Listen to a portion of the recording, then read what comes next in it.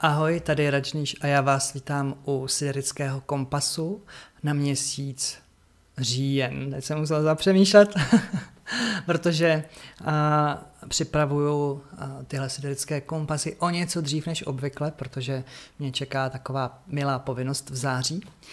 O té třeba někdy ve čtvrtečním dopisu. Pokud neodebíráte čtvrteční dopisy, tak šup na moje webové stránky, a tam to uvidíte v menu, čtvrteční dopis, vyplňte, zaškrtněte a můžete je dostávat taky. Tak, ale siderický kompas a nás tento měsíc někam zavede a kam, to nám poví andělé hvězdného Avalonu. Ty nám dají téma pro společné pro všechna znamení sedelického inekválního zvěrokruhu. Ten má 13 znamení, je tam navíc hadonož a samozřejmě vy si můžete spočítat v kalkulátoru, jaké znamení jste, pokud nevíte, stačí tam zadat jméno, datum narození, místo narození a ono vám to vygeneruje a ten zvěrokruh, kde už uvidíte, kde vám stojí slunce, to je to kolečko s tečkou, anebo měsíc pro měsíční siderická čtení, což bude zase příště, a prostě jenom najdete měsíček. No a hadonož jako znamení je tam takové účko a je takhle s vlnovkou. Tak to je jenom, že mi chodí to takhle pěkně říct. a teď už se podíváme, co tu pro vás mám. Wafahil. A já jsem si to myslel, přátelé, protože jsem ho nejdřív zalídnul na spodku balíčko, říkám, že by. Wafahil. Já ho prostě miluju. Vafahiel to je skromnost a úsilí a říká, přestaň žít v extrémech. Postupuj uzemněný. Buď jednoduchý. Dýchej, uváděj se do středové polohy. Napětí předznamenává úspěch. Buď skromný, věnuj úsilí tomu, co děláš. Vytrvej, bezúhonost, nový začátek. Ten Wafahil říká, přestaň žít v extrémech.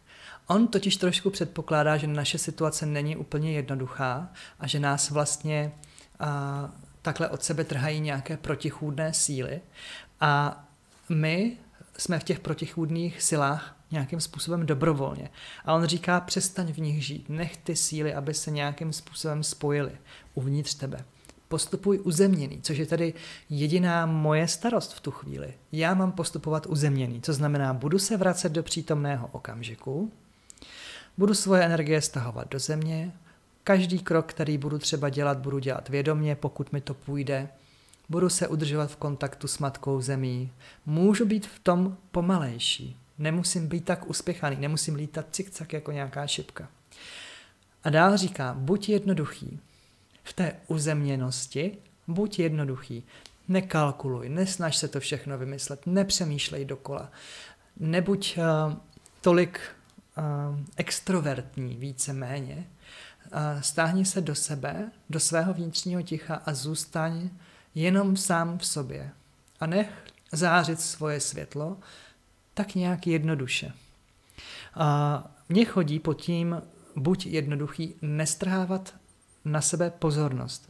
Jo, znáte to, někdy potřebujete udělat nějaký vtípek, abyste na sebe měli pozornost, tím získáte trochu životní energie, že jo, vám se hned rozzáří oči, hned jste jako čertíci z krabičky a jakmile tu pozornost druhého ztratíte, tak, hm, tak vám ta energie opadne.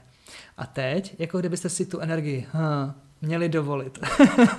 jako kdybyste se měli naučit žít sami se sebou. Tedy buď jednoduchý. Dýchej, Dýcháním přivádím pránu do svého těla a oživuji, takže se snažím tu energii získat nějakým jiným způsobem. Uváděj se do středové polohy, takže když se ty energie takhle srazej, tak vlastně se to ještě celý třepe a já v té uzemněnosti a v té jednoduchosti se snažím o spojení s chrámem svého srdce.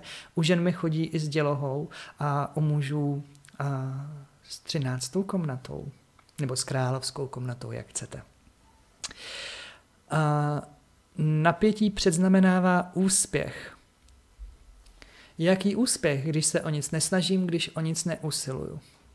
Je to úspěch v nějaké mm, rovině, kterému nemusím rozumět a nemusím o něm vědět. Úspěchem třeba bude to vnitřní sklidnění. Nicméně to napětí, to, že se ty energie ještě takhle třesou, to, že cítím napětí, tak to není znakem nějaké vnitřní rozporuplnosti, ale je to znakem toho, že cítím, že se moje rea- realita bude ohýbat a bude se ohýbat ku úspěchu. Buď skromný, věnuj úsilí tomu, co děláš. Zase nás to vede do toho tady a teď, nevymýšlej nic novýho. A neměj přehnaný nároky na druhý, aby něco vylepšili, aby něco dokázali. Ne, buď skromný. Buď skromný ve svých požadavcích. Buď skromný v jídle. Buď skromný v tom, co děláš. Věnuj úsilí tomu, co děláš. Zaměř se na to, co už děláš a nevymýšlej nové varianty a odnože a jenom pokračuj po své línii, vytrvale. Ať je to těžké nebo lehké, i v tíze, i v lehkosti vytrvej v tom, co děláš. Vytrvej. Nepřestávej v té činnosti. Nepřestávej v tom harmonogramu, který máš stanovený. Bezúhonost je to, o co se máš postarat. Tedy, aby tvůj záměr byl čistý. Aby v tom nebyly nějaký egohrádky, aby v tom nebyl nějaký kalkul. Jo, jo, tak když udělám tohle, tak ona mi na oplátku tohle. Mm, mm, mm, a když bych tadyhle šel, tak možná, že bych... Ne. Prostě se uvolním a když budu cítit, že tamhle mám pomoc, tak tam půjdu pomoct a nebudu tam počítat s nějakou odměnou. Prosím vás, to neznamená, že nebudeme chodit do práce zadarmo, zadarmo ale tohle to mi přijde jako takový varovný majáček, aby moje energie nebyla prokalkulovaná do extrému, ale abych dokázal věci dělat s lehkostí, s radostí a protože cítím, že je chci udělat a nečekal za to nějakou vděčnost nebo odměnu, protože můj cíl je dělat ty věci, protože já to cítím, že je chci dělat. Znáte to? Někdy někdo něco udělá, a pak tomu člověku jednou řeknete ne a on se na vás naštve a 14 dní s váma nemluví a za měsíc vám teda řekne čau, když vás potká, protože ho tak urazilo, že jste mu řekli třeba ne, protože jste to necítili. A, a je vidět, že na jeho straně byl nějaký kalkul, že kalkuloval s tím, že když něco udělá, že mu to přinese nějaký výsledek, že tím něco získá. A naopak, samozřejmě to může fungovat i takhle z vaší strany. Možná do něčeho jdete a mm, říkáte si, no, tím, že tam půjdu, tak mu dám vydělat a pak vlastně zjistíte, že ten druhý člověk to vezme úplně samozřejmě a vy tam zůstanete stát jenom s otevřenou pusou, že uh, tam není ta reakce, kterou jste čekali. A najednou se cítíte podvedení. Ale vlastně jste se podvedli sami sebe, protože jste tam měli nějaký kalkul, jak ten druhý člověk na to zareaguje, co on na to bude uh, říkat. Hm? Je to takhle často spojené s dárkama dáte někomu dárek a někdo ho prostě jenom vezme, přijme, jo, řekne díky, ale už tam není žádná oslava toho, že jste mu ten dárek dali, není tam žádná radost navíc. A vy byste měli cítit klid, protože ten dárek jste cítili, že chcete dát. A už je jedno, jak ta druhá strana ten dárek přijme. Hm? Nový začátek. Teprve potom přijde nový začátek. Až se vám podaří zůstat v tom přítomném okamžiku, až budete postupovat skromně, bez úhoně, bude tam ta čistota, vytrváte, tak pak přijde nový začátek. A to je poměrně dlouhá cesta, takovou růžovou vatou, takže ten nový začátek není úplně rychlý, není to takové to nastartování ze startovní čáry. Ne, je to jako dlouhá cesta ke startovní čáře. Ten nový začátek je cestou k té startovní čáře a chodíme, že o to víc ho pak někdo z vás docení. Takže vlastně to, co máme všichni společné pro to září, je nějaký pomyslný začátek, ke kterému se vlastně blížíme, ale ještě tam nejsme. No a k tomu nám už potom povědí víc karty, které rozložím. Takže užijte si svůj výklad.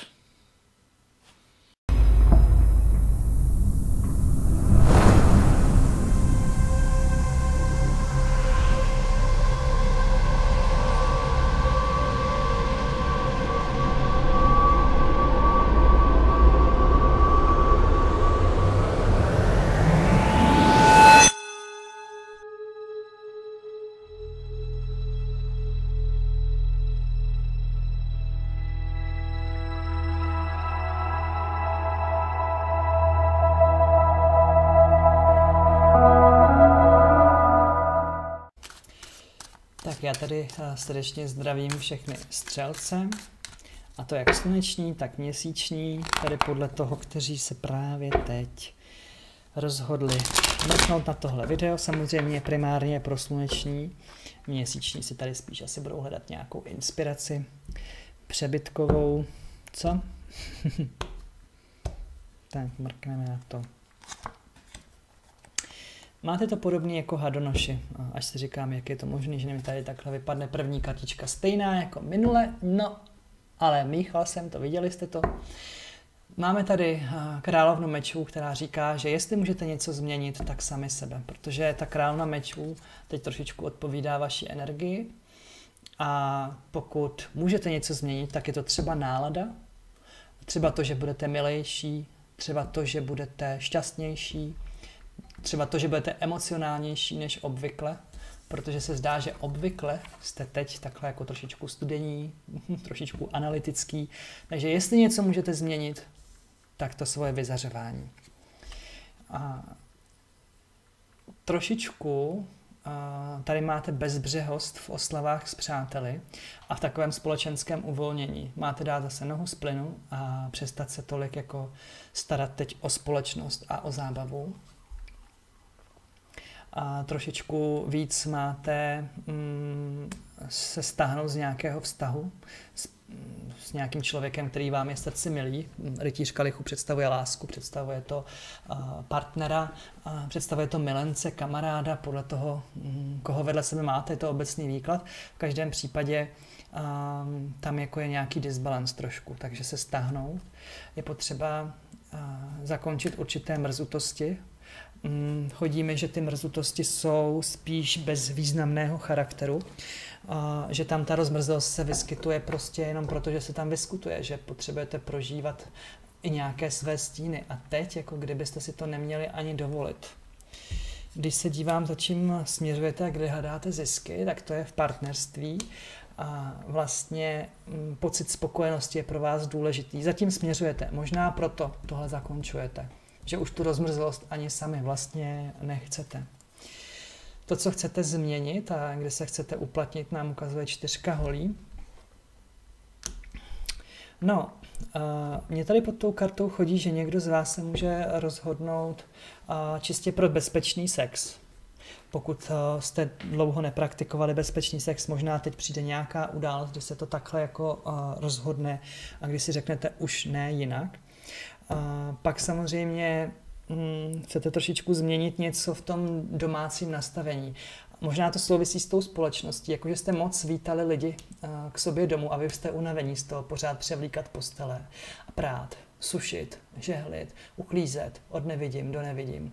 Jo, to se to těm návštěvám přijíždí, když já tady všechno uh, nabídnu ten servis.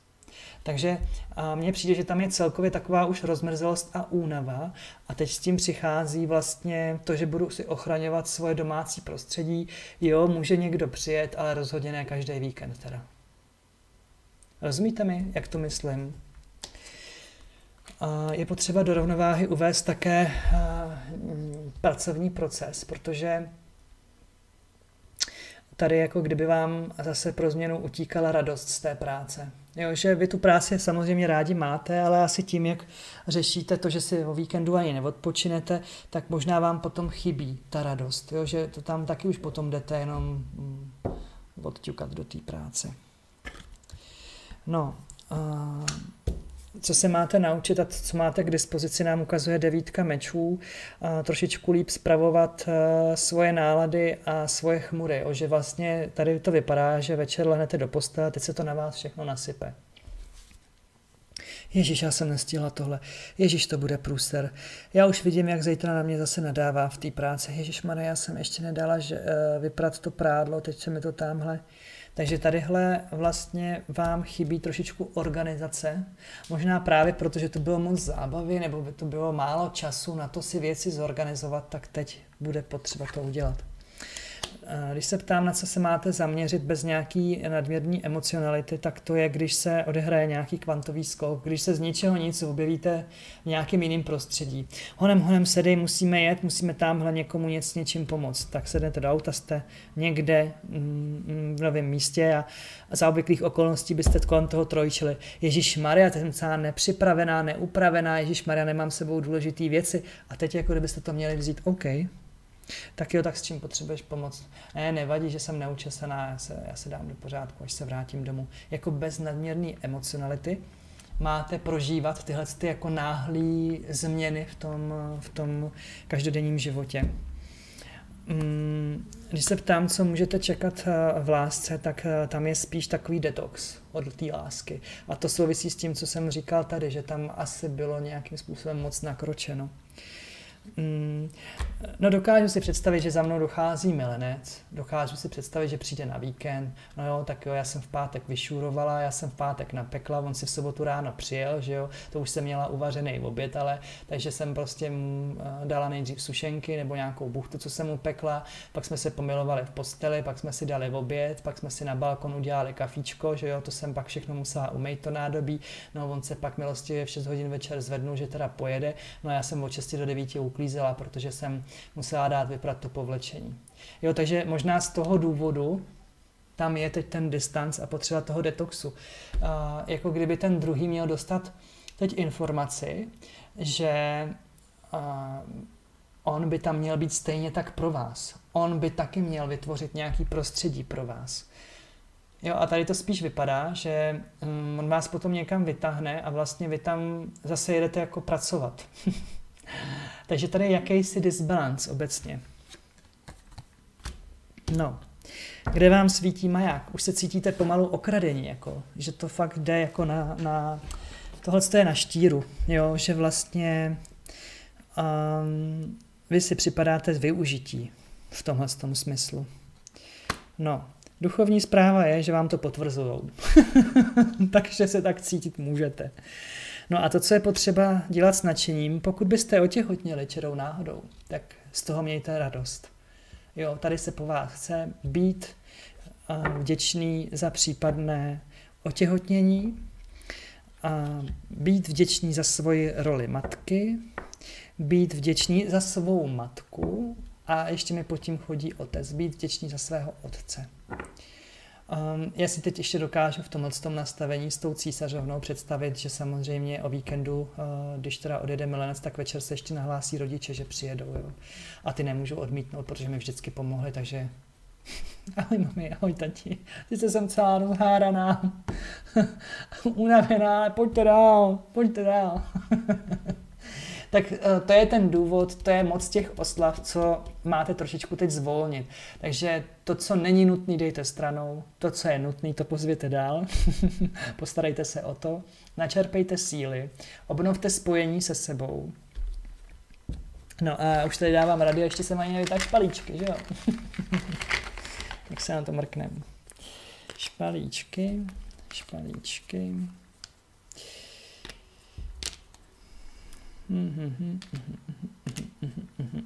Tak. Životní poslání. No, on ten partner totiž tady byl trošičku postavený jako životní poslání vaše. No, ale tak to jsme si udělali sami, že jo? My nejsme kvočny. A my jsme lidi. Odpočinek. Uh, jo, a potřebuji si taky odpočinout, takže až se něco uh, vyvrbí, mm, tak eh, můžete i v klidu říct, hele, já vím, že byste chtěla strašně moc pomoct, ale jeď sama, já si potřebuji odpočinout. Že mi chodí, tak jak jsem popisoval předtím ten scénář, že ještě někomu naskočím do auta a jedu mu s něčím pomoct a je jedno, jak vypadám, že vlastně tam už překročím sám sebe a tady uh, já musím úplně prožít bez té emocionality to, že si řeknu o svůj čas a o svůj klid.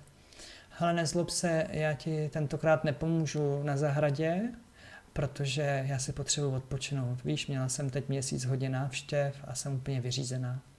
Ale třeba se domluvíme později. mm, nezlob se, ne, nepůjdu ti zaskočit do kavárny. Já vím, že, to ode mě, že bys to ode mě potřebovala, ale já jsem teď se starala o maminku, byla nemocná a, a do toho mě tady využil můj přítel, takže bych si potřebovala odpočinout. Jo, chápeme se už. No, úzkostní stavy mi chodí, že jsou spjatý s tím, že už jste překročili ty svoje limity a únava. Tak to vidíte, ono se nám to tady opakuje. Úzkost, únava, odpočinek. Vy prostě máte odpočívat. Byli jste tady pro druhý, teď tu budete jenom pro sebe hold. A až si odpočinete, tak třeba třepe, potom přijde ten nový začátek, co vám říká tady ten Vafahiel. Tak, ještě se podíváme. No, ještě mi chodí s tou únavou, protože je potřeba jí dělat s nadšením. Musím být nadšená, že jsem unavená, protože když nebudu nadšený, že jsem unavený, tak si nikdy neodpočinu. Ježíš, já jsem tak unavený, já potřebuji tak odpočívat. V tom nadšení si to mm, užiju, tu únavu. A ten odpočinek si dopřeju. Já jsem tak unavená. Z čeho, prosím tě? To slyším, jo. Úplně to slyším. Od toho okolí. Tak tam mějte spíš takovou tu nadšenou únavu. Zase ta společnost. Vidíte, jak nám to pěkně padlo vedle sebe? Takže zvolte ve společnosti, zvolte v lásce, zvolte samotu, soustřeďte se na svoje plány, odpočívejte nejlíp v posteli, aby vás tam nemusela zahnat nemoc, nabuď, jako nabuďte znovu zpátky svoji síly a nechte toho druhého, ať se chvíli o vás stará a pečuje. Je tady určitá citová samota, tak pokud se cítíte sami, můžete někomu napsat dopis. Můžete napsat někomu e-mail, SMS, když se nudíte, když se cítíte sami, ale stanovte hranice. Já vím, že se mi po tobě stýská, ale teď tě tady neuvítám, protože, protože chci být sama. Takže něco v tomhle duchu. Doufám, že vám to dalo smysl. No a my se uvidíme příští měsíc. Mějte se krásně. Ahoj. Ahoj, tady je Račníš. Já bych chtěl velmi rád poděkovat všem svým trvalým patronům, kteří podporují tento YouTube kanál. Díky moc, moc si toho vážím. Jsem vděčný nejenom za sebe, ale i za ostatní, kteří tento YouTube kanál odevírají, protože díky vám, patroni, tento YouTube kanál může lépe plynout, snáze se mi tvoří a vaše pomoc je nedocenitelná, takže mnohokrát děkuju.